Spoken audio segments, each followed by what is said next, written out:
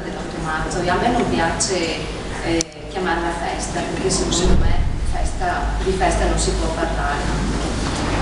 E, mm, mi piacerebbe andare a capire le motivazioni dell'8 marzo, ma poi lo farà Luigina molto meglio di me sicuramente.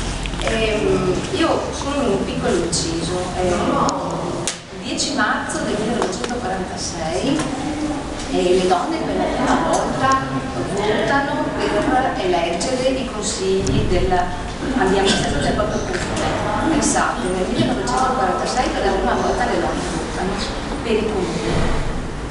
Adesso, ora, eh, abbiamo bisogno delle quote rosa per partecipare, per essere presenti nei consigli, nei consigli comunali. Non abbiamo fatto molta strada, secondo me se abbiamo bisogno delle quote rosa, tanta strada non abbiamo fatto. E, e, quindi ecco, per questo motivo non la chiamo festa, ma la chiamo giornata, la chiamo eh, momento per eh, ricordare, eh, ricordare le, motivazioni per cui il 8 marzo è nato e, e ricordarci che le donne hanno un valore pari agli uomini. Non voglio, non voglio, sicuramente dire di più, non lo, non lo penso, non lo penso, non lo penso, anche perché secondo me insomma, eh, le persone hanno, non uomo o donna, una, una persona secondo me.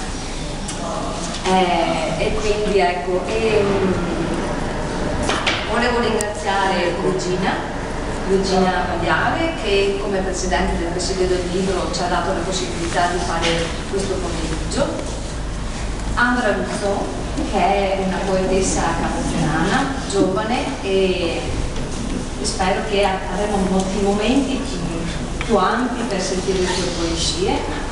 Laura Combinato e Roberta, e Roberta Cruzza, che leggeranno le, brani che Luigina ha scelto insieme a loro, e Andrea Cavallaro, Andrea 12 anni, ecco, e, sì, un giovane, ecco, Andrea e Ambra sono due persone giovani, due ragazzi giovani di Cavarzere e, e volevo dire che eh, all'interno di questo paese ci sono tantissimi talenti che andrebbero, andrebbero scoperti, andrebbero conosciuti e andrebbero valorizzati proprio da noi, proprio dai cavarzerani, perché molte volte ci dimentichiamo che all'interno del nostro paese ci sono tanti talenti.